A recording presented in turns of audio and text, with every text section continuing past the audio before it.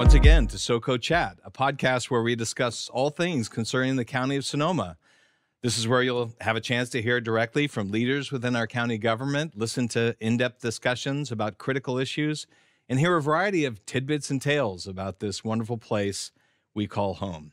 I'm your host, once again, Paul Gullixson, Communications Manager for the County of Sonoma.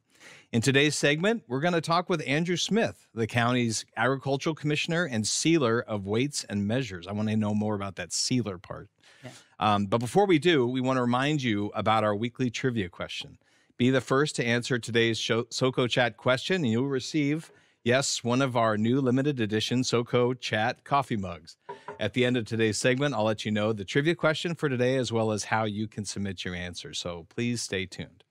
As I mentioned, our guest today is Agricultural Commissioner Andrew Smith. Andrew is a Sonoma County native and alumni of the Santa Rosa Junior College and Natural Resources Program. Uh, before going off to the University of British Columbia, where he received a Bachelor's of Science degree in agroecology within the Faculty of Land and Food Systems. Uh, Andrea has 18 years of experience, well, about roughly 18 years of experience with Sonoma County's Department of Agricultural Weights and Measures, especially in the areas and uh, of uh, pesticide regulation, pest management, crop reporting, cannabis land use permitting, and industrial hemp policy development. That's a mouthful. Anyway, Andrew has a broad experience, and we're so well, glad to have you. Welcome to SoCo Chat. Yeah, thanks for having me, Paul. This is exciting. Well, we we know we we have a lot to get into today, but um, first, why don't we start by why don't you give us an overview of what the Department of Agriculture weights and measures is, and can you briefly describe what it what your job is too? Yeah, I think it's best to start with the uh, agricultural commissioner mm-hmm. system mm-hmm. in general. It's a it's a very storied uh, career uh, there's a lot of legacy in it, and it starts back in 1881 with a legislative act to promote and protect, and that was the establishment of the horticultural c- commissioner hmm. system. And you know that's a lot different than other uh, states. Um, California's system of ag commissioners is very unique in hmm. that every county has a Department of Agriculture and an agricultural commissioner and sealer of weights and measures. Um, and that that establishment of the horticultural commissioner system predates the establishment of the state Department of Food and Agriculture, which didn't come around until 1919. Hmm. Um, when the state did form a Department of Food and Agriculture, their uh, mandates were to promote and protect agriculture, uh, develop the ag industry, uh, prevent pests, and ensure food safety, hmm. which were tenets of the 1881 Act to promote and protect um, and so when the Department of Food and Ag formed, they said we can't lose this county specific uh, regulatory authority over agriculture mm-hmm. and and uh, uh, promotion and protection of agriculture. So let's let's envelop the horticultural commissioner system into uh, contracted work for the State Department of Food and Agriculture, and so that's where we we get a lot of our, our programmatic work from is through through CDFA, the California Department of Food and Agriculture, mm-hmm. uh, the Department of Pesticide Regulations, as well as USDA, and then mm-hmm. within the Department of Food and Agriculture, you have the Division of Measurement Standards, and that's mm-hmm. where we get a lot of our our mandates for for weights and measures work. That's interesting. Yeah. Well, obviously the uh, uh, the the the risks and threats to our agricultural part, our agricultural industry uh, have have changed a great deal since since this the, this all started. But uh, uh, and, and, but that's part of your role too, is to really help help our agriculture industry overcome some of these challenges. Correct? Yes, absolutely. I mean, we have a a department mission to uh, promote and protect agriculture and ensure the the health and well-being of our our community, the health and safety of our community, environment, and the economy. Mm-hmm. Um, and we do that through education primarily, and then the enforcement of laws and regulations. So. Yeah. You know, we have an overarching enforcement philosophy in our Department of Compliance through education. Mm-hmm. And in the end, we are regulatory officials. Uh, but re- we really like to work with our uh, both industry and public stakeholders as well as our businesses to help uh, maintain equity in commerce and keep our environment and our community safe. Yeah. Well, I always appreciate our conversations. And I've told you this before, but I, you're a reminder that we are still an agricultural community. I mean, I think sometimes we forget that because we have such an urbanized population. But you know, we have a a large part of our economy is really uh, hinges on our agriculture community, and you guys are out there protecting that and helping supporting that. So yeah, yeah, we do a lot of inspections. Um, we also do a lot of outreach and education, And uh, as far as uh, workflow automation, we're working right now with ISD to build out um, a a portal on our website for inquiries, complaints, uh, surveys, and Mhm. feedback, so we can really get more um, community engagement Mm-hmm. in our web presence and and find direction and analytics in that that can help guide our our programmatic priorities and our service delivery in the future and you know just um, as it relates to you know supporting the county and the, the community i think it's important to acknowledge that you know our our our county uh, the health of our county depends on a on a, a varied and uh, Mhm. safe food supply food Mhm. security is really key to to supporting our communities and and protecting agriculture is part of that. Yeah. So- Well, help us to uh, get to know you a little bit better. Sure. Uh, tell, tell, what, what, tell us about your journey. How did you come to be the agricultural commissioner here in the county? Yeah, I uh, grew up in Santa Rosa, um, born at Community Hospital Mhm. uh, when it was Community Hospital, but um, you know went through the the public school system here in Mhm. Santa Rosa and didn't know what I wanted to do in college, so I went to the Santa Rosa Junior College. Perfect, great And- option. Yeah, yeah, and I was working on my general education credits, and I in in the uh, off time I was working at a, a a plant nursery around the corner from my my parents' place, and uh, I didn't know what kind of electives to take, but I wanted to take transferable electives, Mhm. um, and I started taking ag classes, and then you know I, my first ag class, I was like, well, where has this been my whole life? You know. Did you come from an ag family? Or no, did, no, Ah, no. Interesting. Uh, dad's an engineer. Mom's Uh-huh. a family nurse practitioner, and okay. uh, worked in nursing education, and uh, you know they they they wanted us to to follow our own path, and Mhm. And you found yours. I found mine, Mhm. and um, you know I, it's been it's been really rewarding and fulfilling. I I took all the ag classes I could at the Santa Rosa Junior College, and then um, you know having dual citizenship, uh, University of British Columbia was an option, and they were at the time. Um, moving towards a more multidisciplinary agricultural sciences department and Mhm. offering a bachelor's of science in agroecology and so i decided to transfer from the santa rosa junior college to ubc and i finished my degree there Nice. and each summer when i came back to santa rosa um, i worked as a pest detection trapper Mhm. an insect trapper for the county ag department That was your and- first job? yeah, and Okay. realize, oh wow, This is know, interesting. This, could be a cool career.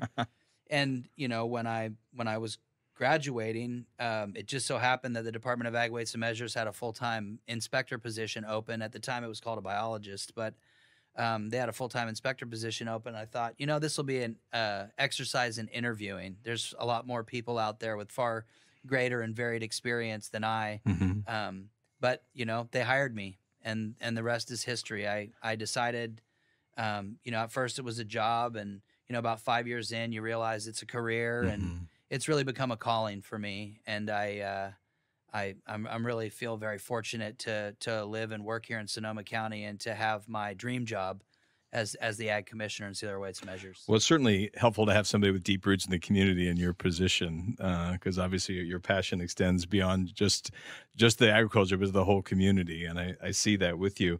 Now, most recently, one of the biggest challenges uh, for the county and your department in particular has been addressing the the local impacts of the avian flu outbreak, and um, this has really devastated our poultry industry. Uh, over the past two months, uh, avian influenza has hit what 10 commercial operators 10 different sites uh, resulting in the destruction of more than 1.2 million birds including chickens ducks and turkeys right? Can you can you give us an update of where we are with the outbreak? I mean is it is it under control? How, where are we? Well, you know, I think our experiences with with COVID as a as a community and a county, it's hard to say that anything's really under control. right Um, but you know, I think the worst is behind us, okay uh, primarily because there's been a lot of depopulation mm-hmm. um, of of a lot of a, a large percentage of our our poultry inventory. If you look at the crop report, mm-hmm.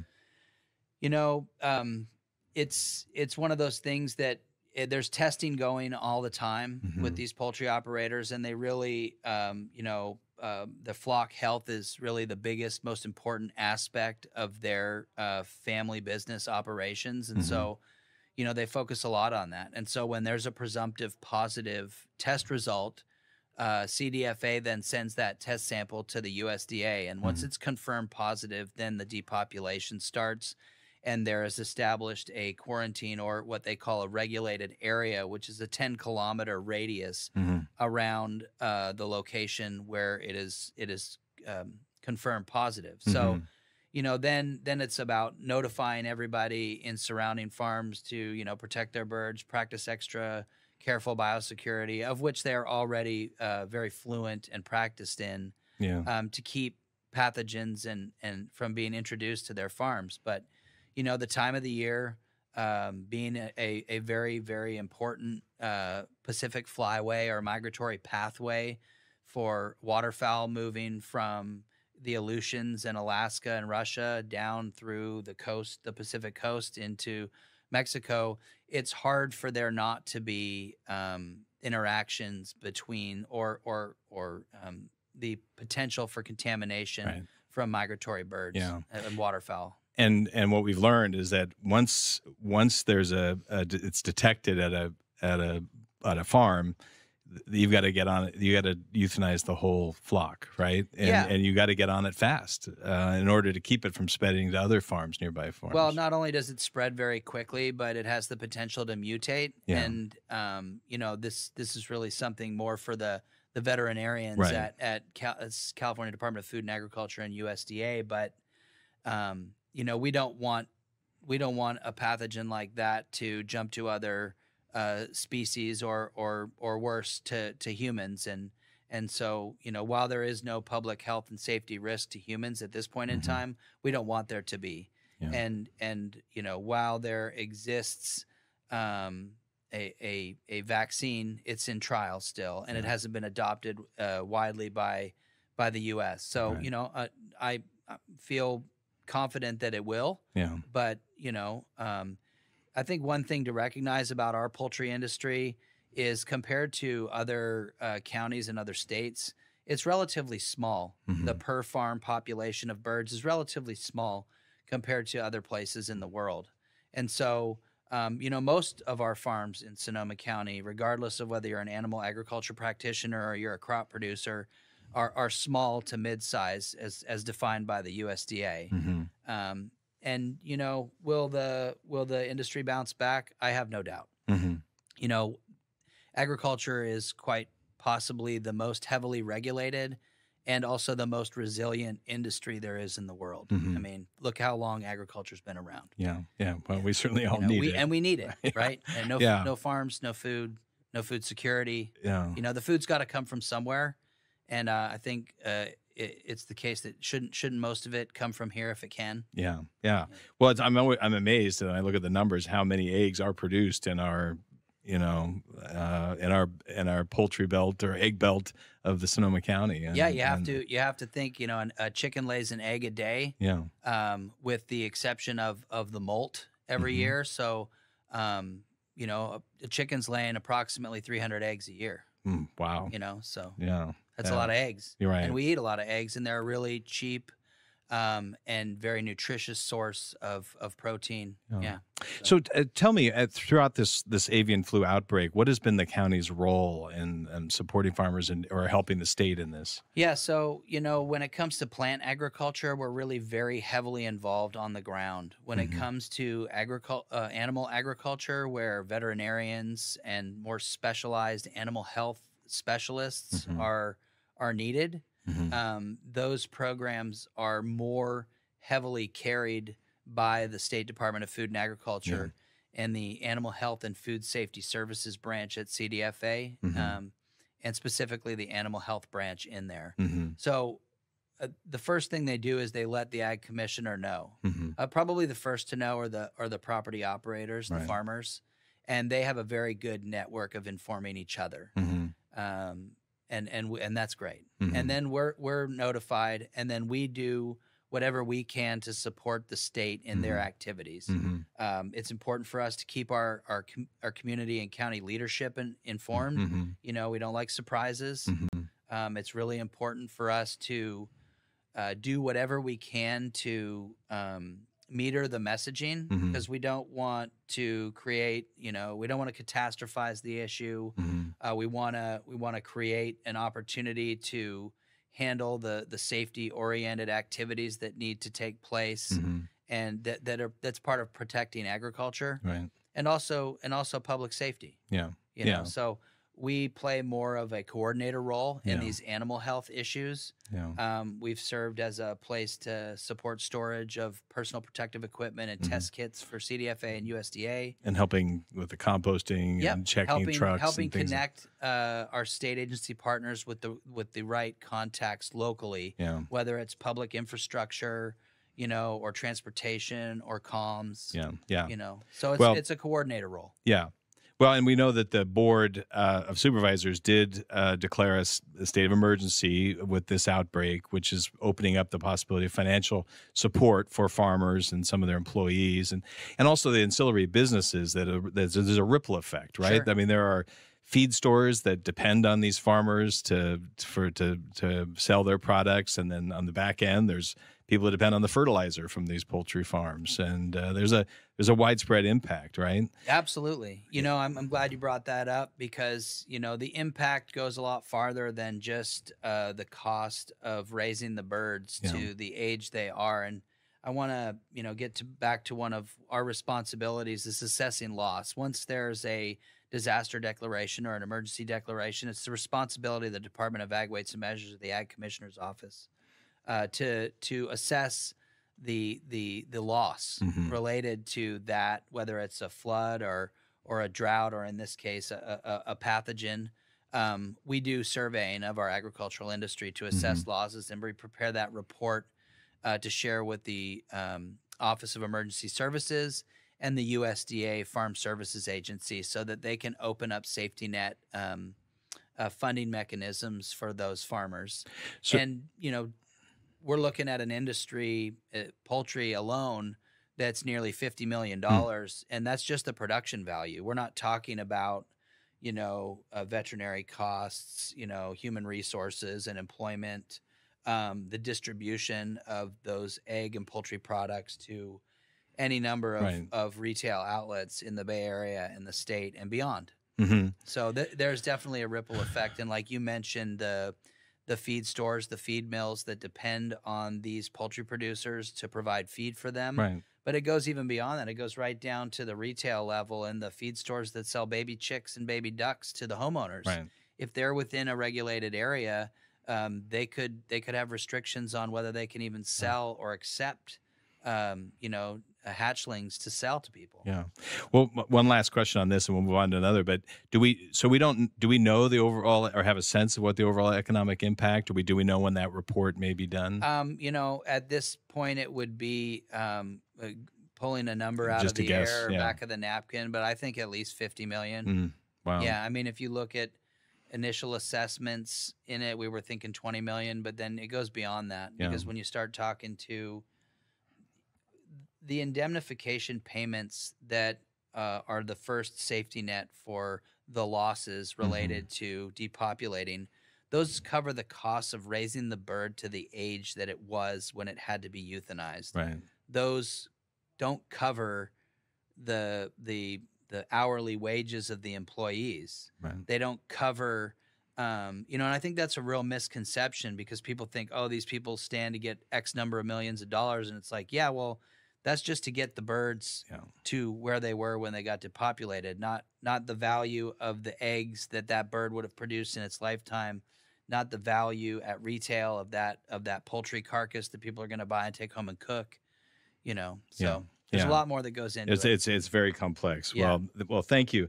Well, the other uh, one of the other things we want to talk about that that is a key part of what your department does is you issue a crop report every year. Yeah, and this is really uh, a summation, an overview of what, what are the total impacts of the crops, and I, I I find it very interesting. Could could you give us a little bit about what the highlights are of our our last report? Yeah, I think when you look at our crop report, we hover around eight hundred million dollars in in production value Mm-hmm. overall, and uh, a huge percentage of that, you know, roughly five hundred and fifty to six hundred million dollars is our our wine grape industry, Mm-hmm. and then you know you have a hundred to 115 or so million dollars that is uh, related to livestock agriculture, Mhm, milk and milk products, and Mhm. livestock products such as eggs, poultry, and other mhm. you know, there's a lot of other things involved in that than Mhm. just uh, just the dairy products and the and the poultry. Yeah. But um, you know, when you look at that, we still have a lot of million dollar crops in our crop report. Uh, I think we listed 15 this past year. Yeah, I think there were yeah there were 16 that yeah. I listed here. uh, Starting with apples are still Gravenstein apples are still there. They're still 1.6 million dollars. I think people forget you know that we we have a broad spectrum of, of products in our crop reports. Uh, hemp at, at 1.8 million, rye 2.3, sheep and lambs 4.5. That's amazing. Yeah, we we really do have a lot of diversity. I think Mhm. of the Sonoma County landscape as like a quilt, an agrarian mosaic of Mhm. of you know natural lands as well as farmlands, and then um, you know re- residential hamlets and and our our our municipal city centers. It's it's really quite cool where we live, and in the context of of agriculture, uh, you know, we've seen a lot of crops come and go. This the this county's uh, historical agricultural foundation was built on cattle ranching by Mm. the Spaniards Mm. um, when they were here, and and sheep ranching, Mhm. and then um, you know we've seen crops come and go, hops, prunes, Mhm. uh, wine grapes were here the whole time. Yeah. wine grapes were were were- planted in Sonoma County, but they really didn't receive um, the level of economic interest, the increases in acreage, and the dollar value until the Judgment of Paris in 1976, Oh, yeah. where California uh, wines beat out uh, French wines. Suddenly it was on Yeah, the map. and- and if yeah. you What was the name of that movie? Bottle Shock. That was the big. yeah, Yeah. yeah. If, if you look at if you look at historical crop reports, you'll see after 1976, that's when wine grape acreage really took off and production uh, really really skyrocketed. Yeah. Well, today, as you mentioned, it's it's nearly five hundred fifty million dollar. So that obviously is the big uh, the, the the big one on our list. But um, the number two uh, biggest crop is is at milk at nearly seventy million. Um, and then, as we mentioned, livestock and poultry products at, at about forty. But um, you know, our, our our dairy industry has been struggling too at times. You want to talk about that a little bit? Yeah, absolutely. You know, I think there's a lot of different things. Um, you know, a lot of variables at Mhm. play there The- the- in in the in the dairy industry Mhm. between Sonoma and Marin County. First, first of all, I think when you compare Sonoma and Marin County, you have when it comes to dairy agriculture, you need, really need to think about it as like one landmass, Mhm. um, uh, because the struggles that Marin and Sonoma County dairies have experienced are are are not unique to the North Coast. We Mhm. have smaller herd sizes than some of the dairies in the valley, um, on average. Um, you know, there used to be a California, a separate California milk marketing Mhm. scheme, and then then uh, California got enveloped into the federal milk marketing order, which is a really confusing thing to explain. But Mhm. you know, I think when you look at market and economic forces, Mhm. um, plus the pandemic and um, generational shifts in the workforce, I, I think those those three variables contribute most heavily to um, Some of our the county- declines of yeah, our yeah, I dairies mean, that we've we've lost had. a few dairies. Yeah. Um, you know, I want to say we lost a, a, somewhere around ten dairies Yeah. between Sonoma and Marin County in the last five to six years. Mm, Um, and and that's that's you know that's troubling, but at the same time, um, you know, people's consumers have changed their demand and. yeah. I think that what we produce here in Sonoma County are really high value, highly nutritious, sustainable, and and humane Mhm, um, animal products. mhm, So mhm. I, I, I, you know, I'll, continue to to purchase and consume Sonoma County products to support we do too. industry. We do too. Well, thank you. I actually one time I'd like to have a whole session just on dairy because I, I find the regulation of dairy is so complex and and and I I feel for producers of, of milk and dairy products in our know, area. you mentioned it earlier when we were talking about um, you know regulation Mhm. and, and agriculture and, and resiliency and um, you know there's all, there's no industry that's more heavily regulated than than agriculture. Yeah, You know there's a lot of you know whether it's water or air or you know energy use, um, you know methane production. Uh, Mhm. there's so many regulations that you know, pesticide use, et cetera, that ag is confronted with. Yet they still find ways to to demonstrate their resiliency. And they're really first adopters and innovators when it comes to energy savings and water saving practices. Um, and in the end, you know, they're price takers, agricultural practitioners. Um, they don't they don't direct the way the market's going to Mhm. price things, and at Mhm. the end, they you can if just they want to sell their commodities. Yeah. They got to take the price that's offered. Yeah, yeah. Well, I want to sh- shift to the other part of your job, which is weights and measures. I think Yeah. that's one that people really don't understand as well. Could you describe a little bit about what you what what that side of your your your job is? Yeah. Um, so you know, weights and measures in general, um, you know, has been around as long as agricultural Mm-hmm. uh, activity in the world has. They kind of evolved together. Um, and in the United States, the federal government left it up to the states to d- decide how they wanted to regulate weights and measures. And California and a, a number of other states have very robust and well developed uh, weights and measures laws and regulations. And so basically, we regulate um, any device. And, and a commercial device is any device that is used to arrive at a sale. Mm-hmm. So any uh, by by weight, measure, count, uh, you name it. Mhm. And so those devices are under our authority to seal the accuracy of those devices. To and that's to that's to make sure equity prevails in the marketplace to protect both consumers and business owners alike. It's it's we we kind of are there to level the Yeah. playing field Yeah, make it in fair. commerce. So Yeah. we're not talking just about scales, but we're talking also about, uh, you know, gas stations. You know, making sure that they're they're they're putting out the listing the right price, Absolutely. and, doing and all of those. Yeah, so, yeah. So you have employees who go out and check these, uh, calibrate, make sure they're calibrated correctly, and making sure they're yeah, in listing fact, right. uh, our staff were featured on um, uh, on the the comms team Mhm. Instagram post. hmm Um, it was Rudy, hmm uh, Rudy Ruelas from our department, and uh, you know all of our all of our weights and measures inspectors have a different district in the county, and that district rotates every three years, and they Mhm. go out to all the retail establishments, and they test uh, commodities. They verify the accuracy of the scales, whether it's Costco or or Safeway or any any Mhm. retail food, um, you know, outlet hmm as well as um, you know the quickie marts, Yeah. produce stands, um, And and then they all and they also check receipts, make sure that people are being charged the right prices, right? Yeah, that's that's our price verification program. So they'll they'll go through and they'll they'll pick a number of items uh, at random, and then um, go up and and scan those all. And they should they should scan in the point of sale system at the price that was advertised because the Mhm. consumer by law is is um, has a right to the lowest advertised price. right. And so if, if there's if the price advertised is not honored at the point of sale, uh, then that that constitutes a violation of business and professions code, and that's when we start.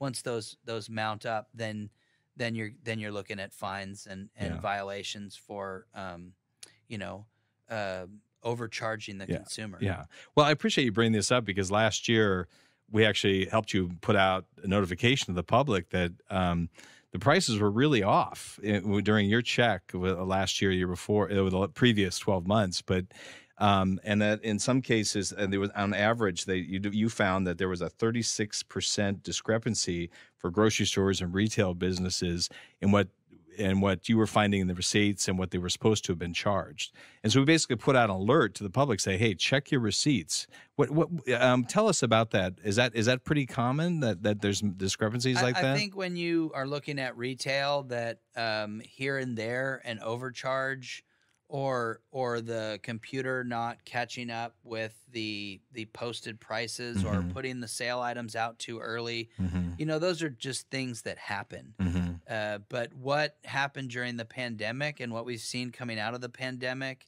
is that there's a lot of turnover. Yeah, a lot of staff turnover. Yeah. Yeah, and and then and there's not as much coordination with uh, sales, especially online and advertisement sales, hmm and what's what prices are posted and what prices are computing at the point of sale hmm in these stores. So that's why I think we've seen in Sonoma County um, a huge increase in in overcharges. hmm Um, it's primarily at retail, and uh, you know it's it's a it's a problem. Yeah. Um, You know, because if businesses are are issued an administrative civil penalty or a fine for for committing a certain number of overcharges regularly, well, does that just become a cost of doing business? Right. And and where does it end? You know, and I think what what what you see in situations where it becomes systemic is that's when counties talk because we communicate with all our other county partners Mhm. You see what's happening. and other counties say, "Are you seeing this Yeah. from this place in your county?" and